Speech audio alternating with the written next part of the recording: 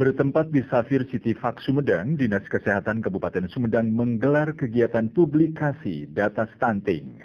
Sekretaris pada Dinas Kesehatan Kabupaten Sumedang, Uyu Wahyudin mengatakan, perkembangan stunting di Sumedang dua tahun terakhir ini mengalami penurunan. Terakhir sampai Agustus 2021, ada peningkatan satu persen lebih dibandingkan 2020, walaupun dihadapkan situasi pandemi COVID-19.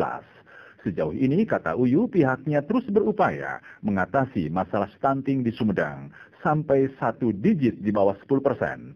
Sehingga diharapkan tidak adanya kelahiran stunting baru atau new zero stunting di Sumedang bisa tercapai. Uh, perkembangan stunting di Sumedang, Alhamdulillah dua tahun terakhir mengalami penurunan walaupun turunnya satu persen ya dari angka yang ada yaitu hasil pengukuran tahun eh, bulan Agustus tahun 2021 turun dibanding dengan tahun 2020 besar satu persen lebih ya walaupun 1,05 persen.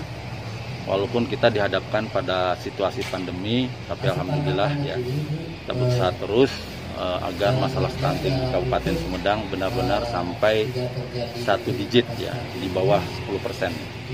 Kita sebenarnya yang kita harapkan ya yang paling penting tidak terjadi kelahiran stunting baru di Kabupaten Sumedang atau tidak new zero stunting ini bisa tercapai ini upayanya ya yaitu pertama melalui seribu hari pertama kehidupan ya. bahkan tarik lagi sebelum HPK yaitu pada remaja-remaja ini kita sudah intervensi tentang kesehatan reproduksi tentang pemberian tablet tambah darah, begitu juga masuk usia uh, perkawinan atau yang disebut dengan catin. Para catin ini calon pengantin juga kita berikan advokasi-advokasi, informasi-informasi agar pada masa nanti di dalam masa berkeluarga. Demikian Abinang Ferry dan Iwan Ingkik melaporkan.